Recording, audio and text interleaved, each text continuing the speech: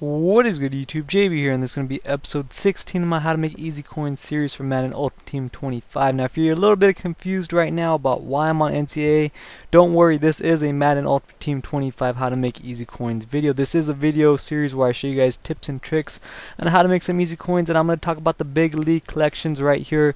Uh, you see when you complete these collections you actually receive a premium pack in NCAA Ultimate Team but you also receive a jumbo reward pack in Madden Ultimate Team 25. Now I've known about this for quite a while, and uh, there's two collections, one for offensive players, one for defensive players. The reason I didn't make this video a little bit earlier is because the players were way, way, way too overpriced uh, when this collection first came out. Now it's been a little while, and I've kind of checked up on the auction house, and the players' prices has uh, has pretty much dropped a lot. You know, there's not many people on NCAA Ultimate Team anymore, just as it is, and so I would recommend doing the defensive one instead of the offensive one, just because there's a lot um, less higher rated players in the defensive collection. There's only one that's over 90.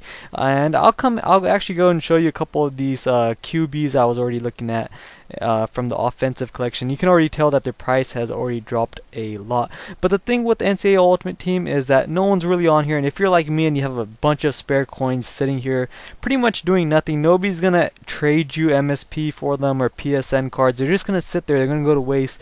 So um, you know this could be an option for you. A, a great way for you to make some extra coins in Madden Ultimate Team. Maybe if you get lucky, you know what I mean? Because by opening one of these jumbo reward packs. But here you see a we I mean um Bradford used to be pretty overpriced, and now he's kind of he's actually reasonable. You can get him for under 10,000 coins, and even same with Wheating. At least you can get these guys for under 10,000 coins now. Trust me, before they were crazy inflated. They're going for a lot. And uh, there's just not many people on NCAA Ultimate Team. I've heard a lot about uh, for next gen consoles how Madden Ultimate Team 25 is going to let you transfer over uh, over a thousand of your cards that are in your reserves and your active roster and some of your coins and stuff like that.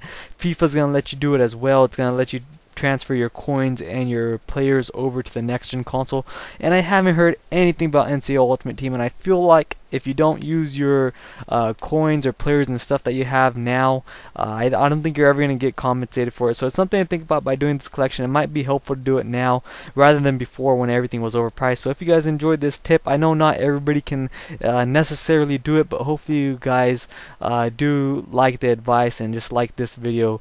And go ahead and drop a like if you did. And as always, everyone, go ahead and uh, subscribe if you're new to the channel. Take care, everyone. Good luck with uh, your methods of making coins. And and peace.